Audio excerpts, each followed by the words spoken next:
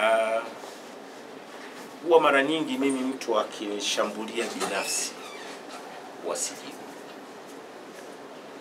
Nimekuwa hivyo, yaani mtu akishambulia Simba huwa anakuwa mkali kama pilipili, lakini akinishambulia Haji kama Haji huwa sihangaiki naye. Hata siku moja, nimefanya hivyo siku zote, na imekuwa ni trend sasa ya kumwataka Haji Haji Haji Haji Haji, ni mwendelezo.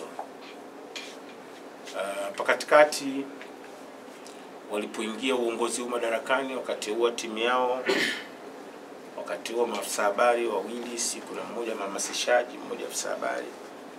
Day one siku wanakabidhiwa ofisi ni Haji Haji Haji Haji Haji Haji wakazunguka kwenye matv wakazunguka kwenye maredio Haji hivi Haji, kila mtu anasema yake ni Haji tu. Siku moja nilimjibu mmoja kwenye kipindi cha Azam TV cha kurasa zile, lakini nashukuru baada ya pale hakuendelea tena. Yule mwingine mi nikasema simjibu kabisa, lakini kwa sababu anafanya makosa yale yale na yeye anataka kuonyesha mimi sijui kitu, mimi wanatumia forum. Mimi na forum yangu ambao wote mnaifahamu, Instagram page yangu. Na kusqueeze kidogo kule na ku lakini siendi kwenye vyombo vya habari wala sijawahi kumzungumza kokote,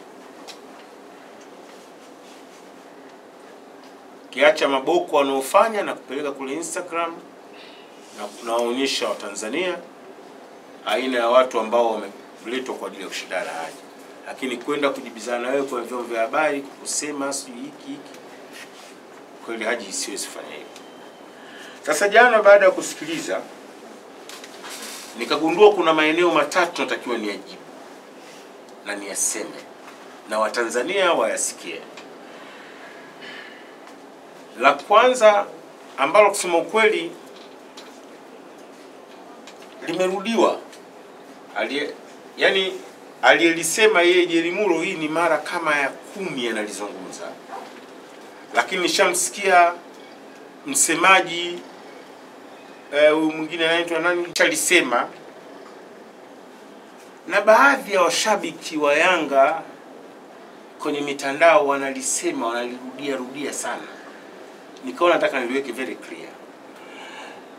Haji Mungu kwa matakwa yake mwaka elfu mbili na kumi na sita ilikuwa nakumbuka mwezi wa Ramadhani elfu mbili na kumi na tano kumi na sita kumi na sita yes sababu mheshimiwa rais alikuwa ameshaingia madarakani, ilikuwa kipindi cha likizo.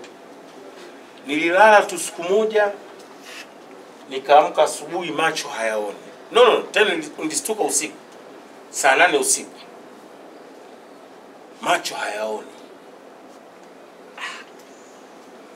Sikujigonga mahali, sikuwa naumwa kichwa, sikuwa nafanya chochote, hayaoni, blind kabisa. Kaosha mke wangu ambaye wasioni wasioni sioni, eh, sioni. Kabisa. Akanishika mkono akaniingiza ushu akanirudisha, yani alifanya hivi sioni, lakini tukaambiana tusema ah, labda tusubiri asubuhi.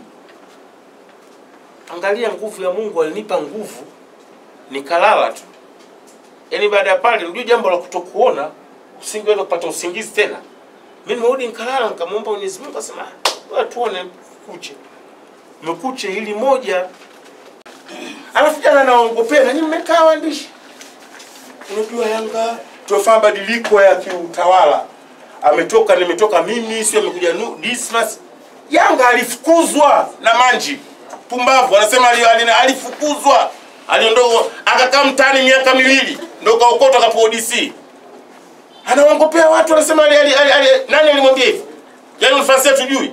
Kafukuzwa hadharani, kamtukana Manji, kamtukana makamu mwenyekiti Clement Sanga, wakamfukuza the, the next day. Na wakati anafukuzwa alikuwa kafungiwa na TFF. Si miaka mitatu, si miaka miwili. Muongo mkubwa. Yeye alifukuzwa. Yanga mwongo, alifukuzwa hakuwahi kuwa- ku- ku- ku- kufanya mabadiliko ya maana aliachia mwenyewe pale Yanga. Unahoji oh, kwani aje aondoke? Mta eh? Jamani, si ndio jile yani niondoke? Kwani acha kazi Simba? Eti kwa sababu nipo napendwa, wana Simba wanaridhika na kazi yangu, kwao nataka niondoke? Yani jamani, si mbaya wazi kwa wana, yani kiasi cha hofu kwao, wanatamani nife. Kwani usalama wangu sasa hivi ni mdogo. Sasa hivi usalama wangu ni mdogo, siwezi kutembea peke yangu. Wana Simba wanilinde, serikali nilinde. Sasa hivi naweza nikapigwa risasi kama watu washafikia mahali wanataka niondoke, hawashindi kuniua hawa. Yes, wanataka niwekea sumu. Siwezi sasa hivi, mimi siwezi kutembea pale peke yangu, siwezi kula peke yangu. Yaani mtu unakaa mwenyekiti wa klabu, katibu wa klabu, wasemaji wamekaa kikundi cha watu watatu wanacheka kabisa, kwani haja aondoki Simba. Yaani Simba si waseme wao, kwa nini nahusu nini sasa?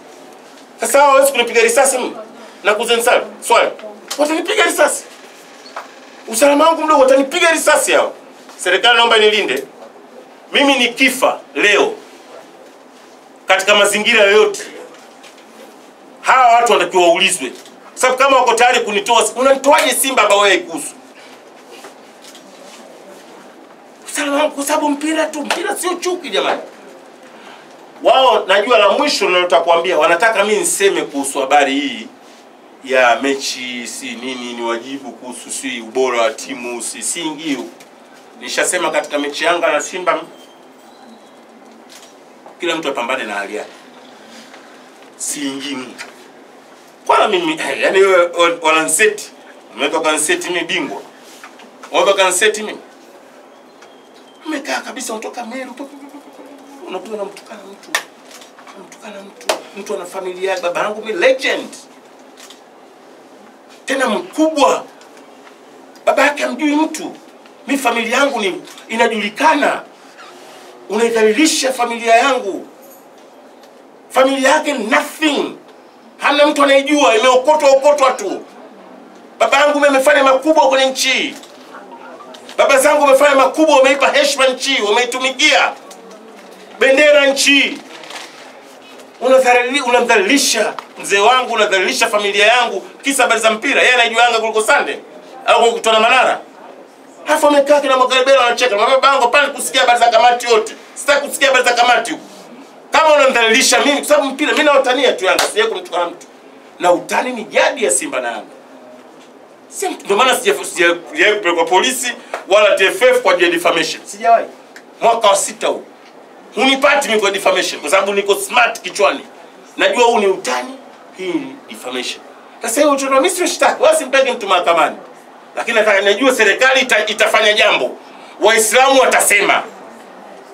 ukichezea dini yao Waislamu wakuachi na sifanye uchochezi, katisema kweli, mimi simesikia akudharau walimu wa madrasa Waislamu watasema tu na watamfyatua.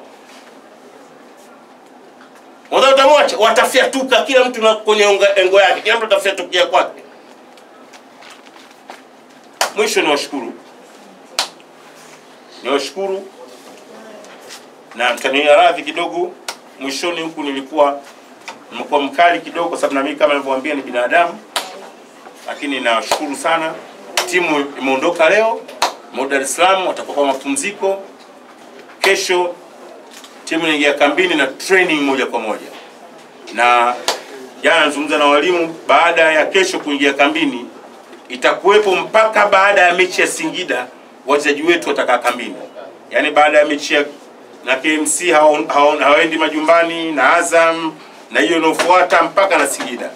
Kwa hiyo ndio ratiba yetu ya Simba Sports Club. Asanteni sana. Kama kuna swali niulize.